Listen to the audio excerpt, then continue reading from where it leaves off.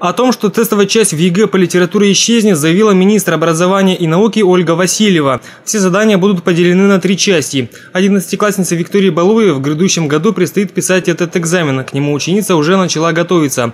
Усердно читает литературу и пишет пробное сочинение, считая, что тестовую часть необходимо оставить. Я думаю, что нужно оставить тестовую часть на экзамене по литературе так, как детям будет легче сдавать и появится больше желающих. Но с другой стороны, литература – это устный предмет, и мы должны э, описывать героев, э, уметь описывать героев и выражать свои чувства.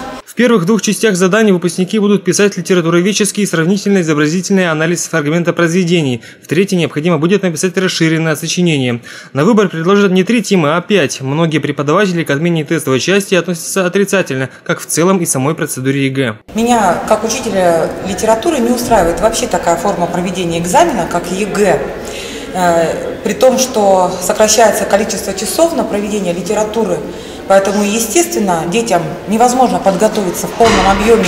Те ребята, которые выберут литературу в качестве экзамена, могли бы набрать дополнительные баллы за тестовую часть. Учителя говорят, чтобы сохранить ЕГЭ в его прежнем виде, необходимо оставить первую часть тестирования. На сегодняшний день тестовая часть есть только в экзаменах по иностранным языкам.